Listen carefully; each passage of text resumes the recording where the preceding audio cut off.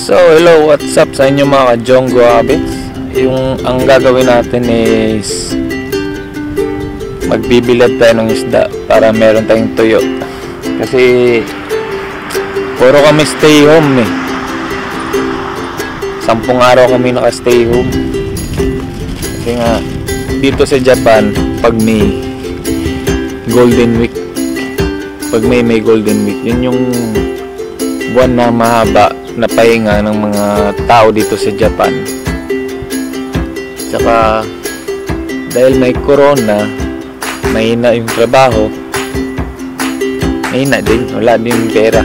Kaya bahay lang tayo tapos magtutuyo tayo, magtutuyo ng isda para may pang ulam para makatipid din. Yun, kaya dito ko pumesto. Dito. Dito ako maglalapag ng magsisilbing banig nung isda.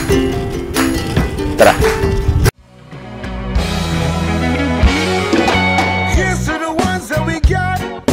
Cheers to the wish you were here, but you're not. Cause the drinks ring back and the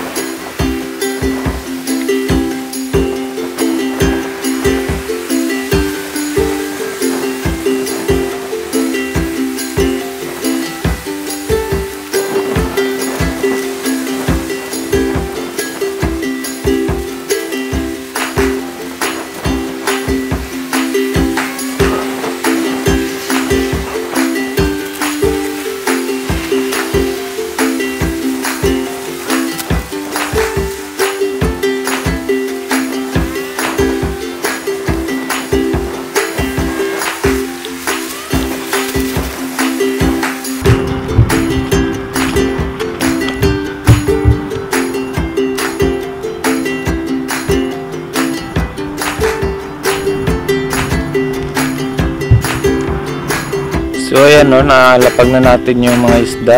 So sana hindi ulan. Pero maganda naman yung panahon ngayon. Tsaka mainit.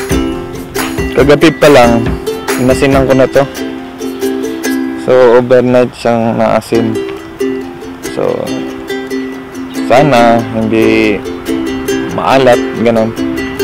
Hindi sobra sa alat. Sakto lang dapat. Ang kalabang ko dito is hindi ulan. Yung uwak mismo. Kasi nakatry na ako ng isang isda lang eh. Puta pinapak yung likod. Kahit naka naka-screen nga yun eh.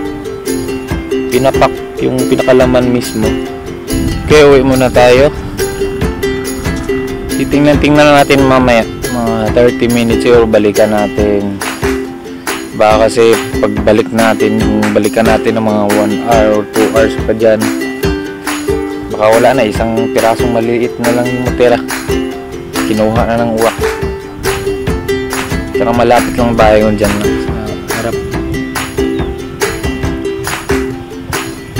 Kaya mamaya ulit. 2,000 years later. nawalan yung dito banda oh Nandyan. Wala. Dalawang piraso nawala. Eh ba? Daming uwak. Pagka narinig ko na yung uwak, lalabas ka agad ako eh. Sayang. 2,000 years later. So, ayan na po no. Kulang pa siya. Usually, 2 days dapat tong binibilad eh.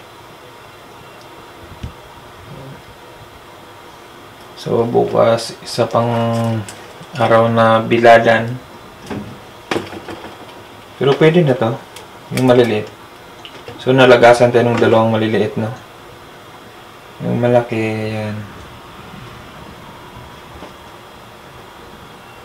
So, Ay, ulam na tayo.